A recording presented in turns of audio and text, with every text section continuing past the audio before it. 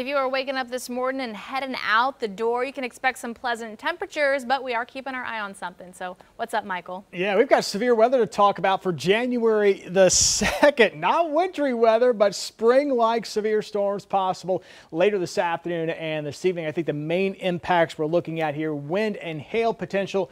Wind gusts 60 to 70 miles per hour, hail up to about an inch and a half in diameter. Tornado threat will exist as well. I do think it'll be higher the farther south and east you go into the region. Flooding not going to be as much of a concern, but we'll get some locally heavy rain out of these storms, but I don't think it'll be enough to cause any major flooding issues. Speaking of that tornado potential again, there is at least uh, some potential in the metro. We're not out of the woods in Tulsa, but the odds are going to be a little bit higher for that uh, threat as you go farther to the south and to the east. I would not be surprised if we did get a couple tornado warnings later this afternoon and this evening with some of the storms that do happen to develop, but I don't think we're looking at a major tornado outbreak type uh, system, at least for us here locally. Farther south, though, into parts of Arkansas, Louisiana, East Texas, that tornado threat will be even higher there. For us, our severe threat is going to increase uh, early to mid-afternoon and then uh, move out later on this evening. Tulsa's window probably highest between about 3 to 6 o'clock. And then once we go through the evening hours,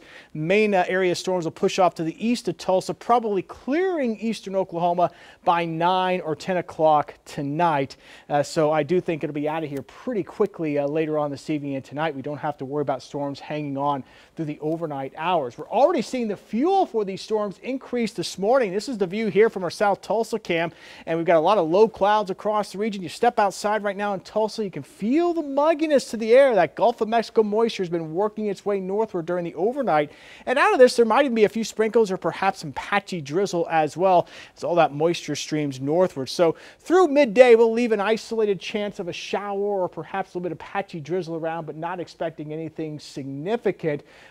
Two areas that we're watching for early afternoon will be here to the north and west of Tulsa and to the south. That's where we'll likely see storms initiate early to mid afternoon. Then the coverage will increase as we go through mid to late afternoon and early evening. And then as we continue through the evening hours, that threat will continue to push its way to the east. And as mentioned earlier, probably 9 to 10 o'clock tonight, clearing eastern Oklahoma. Once this system moves through, we're going to cool it down the rest of the week, but still pleasant.